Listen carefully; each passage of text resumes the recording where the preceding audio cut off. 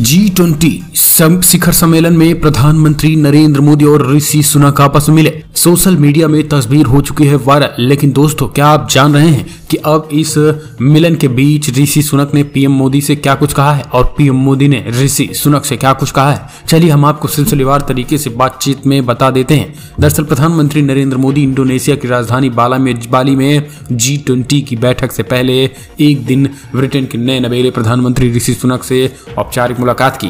प्रधानमंत्री कार्यालय ने दोनों की मुलाकात की जानकारी देते हुए तस्वीर साझा की।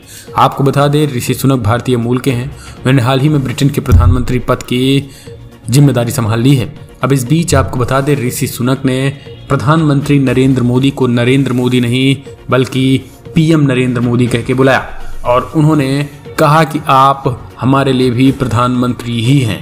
एक तरीके से आपको बता दें, भारतवंशी ऋषि सुनक जो है वो मूल रूप से भारतीय हैं। और उन्होंने हाल ही में ब्रिटेन के प्रधानमंत्री पद की ज़िम्मेदारी संभाली और वो भारत के मशहूर उद्योगपति और इन्फोसिस के संस्थापक नारायण मूर्ति के दामाद भी हैं। पीएम मोदी ने इससे पहले भारत अमेरिका के राष्ट्रपति जो बाइडन और फ्रांस के राष्ट्रपति इमैनुअल मैक्रो से भी गर्मजोशी से मुलाकात की थी। आपको बता दें, अब इस मुलाकात में जब प्रधानमंत्री नरेंद्र मोदी ने उनको बधाई दी पीएम बनने की, पीएम मोदी ने सबसे पहले ऋषि सुनक को प्रधानमंत्री बनने की बधाई दी। कहा कंग्रेचुलेशन मिस्टर ऋषि सुनक इस नए पारी के लिए. ऋषि सुनक ने भी कहा thank you prime minister Modi और उन्होंने स्पष्ट कहा कि आप एक तरीके से मेरे भी प्रधानमंत्री हैं।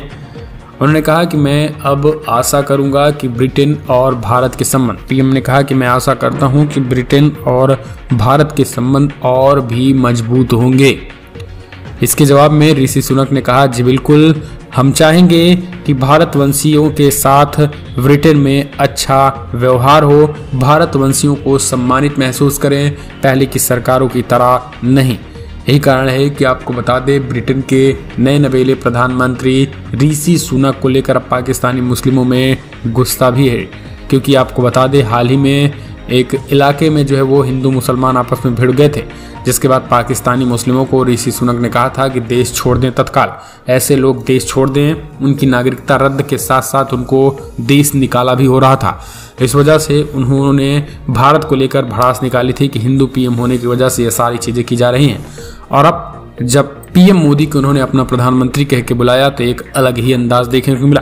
फ़िलहाल कमेंट के माध्यम से आप अपने सुझाव दें, जिस तरीके से प्रधानमंत्री नरेंद्र मोदी को अपना प्रधानमंत्री ऋषि सुनक ने बनाया है। इससे क्या लग रहा है कि भारत और ब्रिटेन के संबंध जो है और प्रगाढ़ होंगे? ऋषि सुनक के आने से या फिर नहीं?